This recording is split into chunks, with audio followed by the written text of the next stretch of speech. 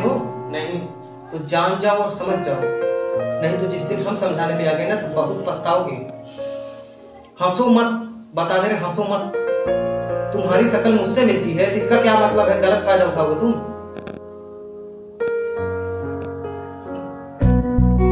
तो वीडियो को शूट करते समय आप एक चीज़ यह ध्यान दीजिएगा कि जब आप वीडियो को शूट करेंगे तो उस समय आपका मोबाइल हिलना नहीं चाहिए। जब तक आपकी वीडियो शूट नहीं हो जाती है तो आपका मोबाइल एक ही जगह पे रहना चाहिए। तो पहले वाले रोल में आपको कुछ इस तरह से एक जगह एक्टिंग कर लेना है।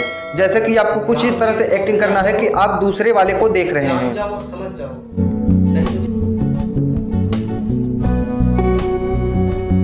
अब आप देख सकते हैं कि मेरा एक रोल शूट हो गया है अब दूसरा रोल हमको शूट करना है।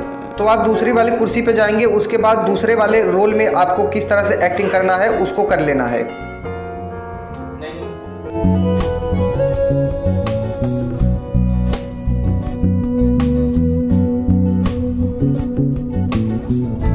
जब आपकी वीडियो कुछ इस तरह से शूट हो जाएगी तो आपको करना क्या है कि इसमें से आपको कुछ फालतू पार्ट है, उसको कट कर देना है। जैसे कि इसमें मैंने कुछ फालतू भी पार्ट कर लिए हैं, एक कुर्सी से उठ के दूसरी कुर्सी पर जा रहा हूँ तो आपको इसको कट करके निकाल देना है।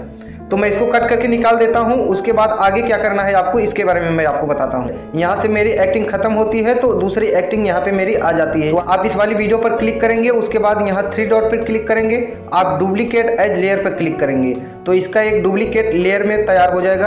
आप ओके करेंगे, उसके बाद इस ऊपर वाली वीडियो को आप डिलीट कर देंगे। इस लेयर वाली वीडियो पर क्लिक करके होल्ड करके रखेंगे तो इसको आप खिसका के इस वीडियो के बराबर में लेके चले आएँगे।